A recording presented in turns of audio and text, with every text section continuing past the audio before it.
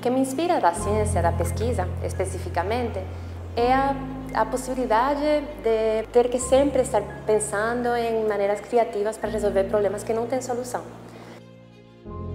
O título da minha pesquisa é Galáxias Próximas e Distantes a busca para entender os processos que formam e transformam as galáxias.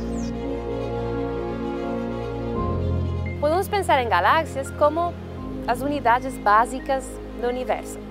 Elas propriamente estão compostas por estrelas que estão compostas por gás.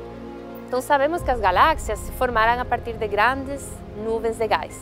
Porém, os processos exatos que levaram aos diferentes tipos de galáxias que observamos hoje não são realmente entendidos. O que eu faço, em particular na minha pesquisa, é estudar galáxias distantes. A luz dessas galáxias distantes levou muito tempo para chegar até nós. Desta forma, temos imagens de como essas galáxias eram há bilhões de anos, estágios mais primitivos. Juntando, resolvendo esse quebra-cabeça, visamos entender os processos que formaram inicialmente e depois transformaram as galáxias.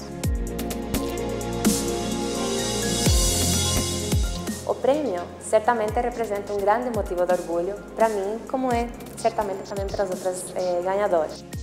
Nesse sentido, eu me sinto muito honrada de ter sido escolhida esse ano como representante da ciência eh, boa, maravilhosa que está sendo feita por mulheres cientistas, como em outros campos em astronomia em particular, eh, tem a, a, grande vantagem que é baseada em imagens lindas, maravilhosas e um universo que desde criança eh, inspira muitas pessoas.